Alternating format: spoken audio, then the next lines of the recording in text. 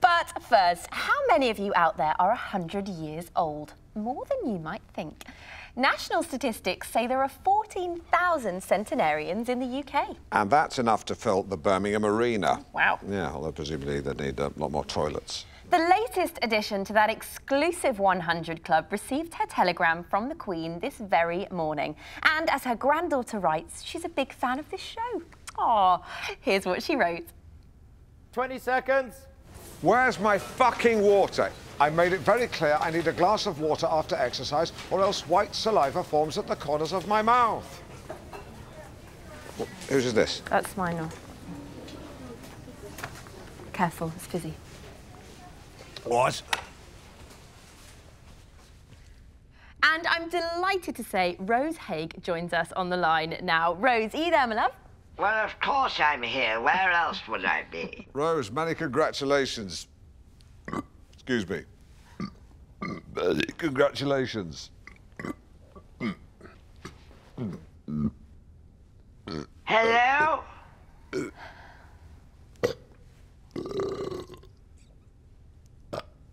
There we go. Rose, can you tell us where? No, leave it here. Here.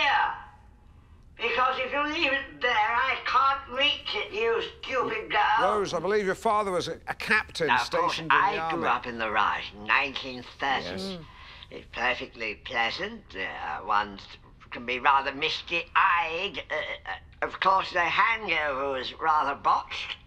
Mountbatten did what he could. Poor old Dickie, Radcliffe. That's lovely. I was just so wondering, wondering about uh, the secret to your old age. I'm talking, young man. You Sorry, normally interrupt people when they're speaking. I've been called a young man for quite some time. Stop mumbling. Why are you staring at me? What's your name? Alan Partridge. The point being, we had a houseboy. Not a friend, you understand, an Right. employee. Okay. He used to run errands, and we called him Brownie. Right. Not the sharpest of fellows, but curiously, he was not an Indian. Okay. He was a Negro. And they are very different, because whilst physically stronger, they Oh, oh dear. Uh, we seem. Right. Oh, we seem to be. We seem to have lost Rose there. But yes, a great achievement and a colourful character. Different times, different times, and uh, apologies there for the wind and the racism. So, th- so rare birds' eggs are being scrambled for Russian oligarchs, and Bill Oddie goes apeshit. He shows up at Claridge's wearing his Twitcher's jerkin, and the pockets are full of every conceivable explosive. I got the picture. He walks in to the uh, buffet area, the breakfast buffet. People turn round. They say, "Isn't that the man from Springwatch?" Someone else says, "Uh, "One wasn't he once one of the goodies?" Yeah, not anymore. Now he's a baddie. Seconds later, carnage.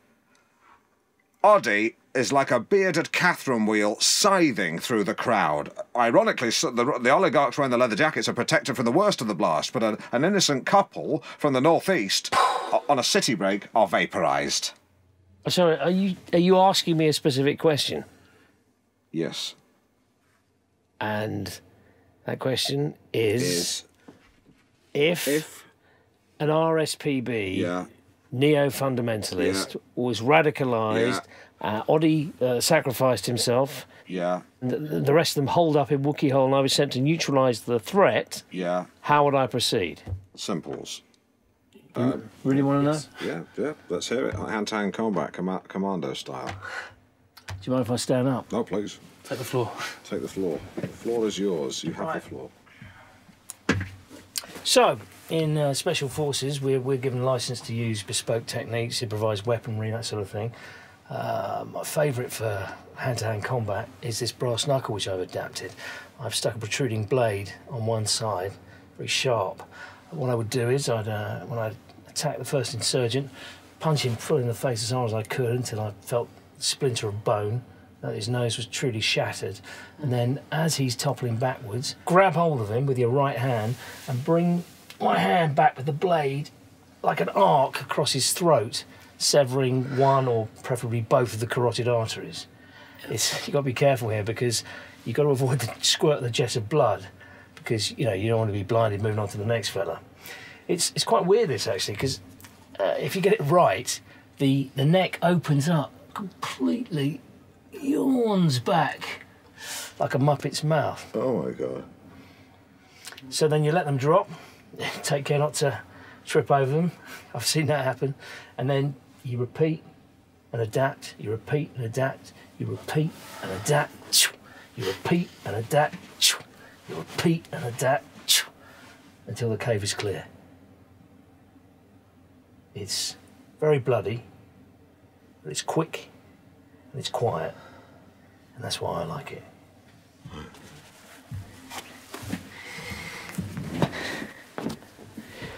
Any questions?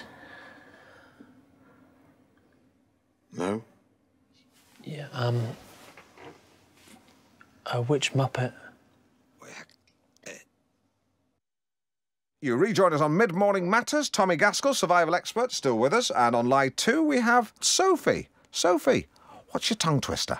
Did that man hurt the Muppet? No, love, he didn't hurt any Muppets. He simply dispatched um, some uh, terrorists from a radicalised RSPB in, in Wookey Hole. Uh, it- it was simply that when he slit the throats of the bad people, they resembled the mouths of Muppets.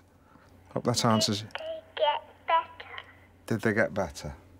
We cleared the cave. No, no, no one survived, Sophie. He cleared the cave. And when the man hurt the other men, did the man feel bad? Did you feel bad? It's my job. No, he didn't feel bad, Sophie. Yesterday's quick-fire phone-in uh, only yielded three calls. My mistake. I think panel beating was uh, too narrow a topic. Uh, so today we're going to open it out uh, with the question, what is the best thing? What's the best thing of all? Um, uh, so far we've got uh, Sky Plus, a cup of Brazil nuts. That was amusing. Livestock, valid. And wet wipes. That was a, a fascinating uh, call from an elderly lady in Hempton. Let's have some more. Line two. The first smile of a newborn. Ah, who could not like that? Who could not like that, though? Herod. Yes, Herod. That's right, because he was a baby killer. He enjoyed. Yes, he killed lots of babies. He did. Uh, we don't like him. Uh, line four, Sean. Oh, it's got to be. It's got to be your radio show, Alan. Oh, yeah. I don't. I have no need. To, I can. You've saved me a lot of money on toilet paper now because you've already uh, done the job for me, as it, as it, as it were. Your arse licker. Yeah. All right. Well, obvi- obviously that's the implication. You know. Um, line six, uh, Stuart. it's sliced bread. What about sliced bread? Sliced bread. It's the best thing, isn't it? that's what people say. They say it's the best that- thing. yeah, but sliced bread that's well, that's a, that's a phrase, but it's not actually the best thing, is it? Can I have a T-shirt? No, no, of course you can't. It's that that's that's um that's not that's just a turn of phrase. Yeah, but it's it's the best thing, isn't it? Because also it's what people say. They're saying not- they say the best. I thing know I know bread. I know they say that. I'm familiar with the phrase, but it's just a turn. It's not literally true. Then why do people say it? Of course Because it's it- true. it's not- Sliced bread is the best thing. It's the best It's thing. you Is stop bread. keeps if you keep saying it, sure, it's not going to make it any more We all- we all know the phrase, we mate. all know the phrase. it's just an idiom. You're an idiot. No, an idiom, not an idiot. You're, an idiot. No. You're, no, you're an idiot for not knowing what idiom is. It's clearly confused you because you think I've just substituted the T with with, with an M. You stupid gim. uh, you, or you you momal mwam. Uh, what you got? Maybe that. Uh, you, yeah, you're you're a compleem cunm. Well, I think you're a prick. Right, get rid of him. Sorry about that. Uh, I should have s- I should have uh, knocked him off more quickly. I wasn't quick enough. I And a dick. Shit. Right. Um, right, well, he's he's gone now, but I'll continue to, to, to speak my mind about him. Stuart, I've got to say, I think the Clifton Suspension Bridge was built for people like you. The fact that you can drive cars across it is a bonus, so do the decent thing. And leave the keys in your car so uh, someone can shift it afterwards. And please don't don't call in saying I'm encouraging people to kill themselves. Again. Yeah, um, I'm I'm suggesting that one person throw himself off Clifton Suspension Bridge because he is, and hopefully soon to be was, a very unpleasant individual, uh, a bit like Jamiroquai.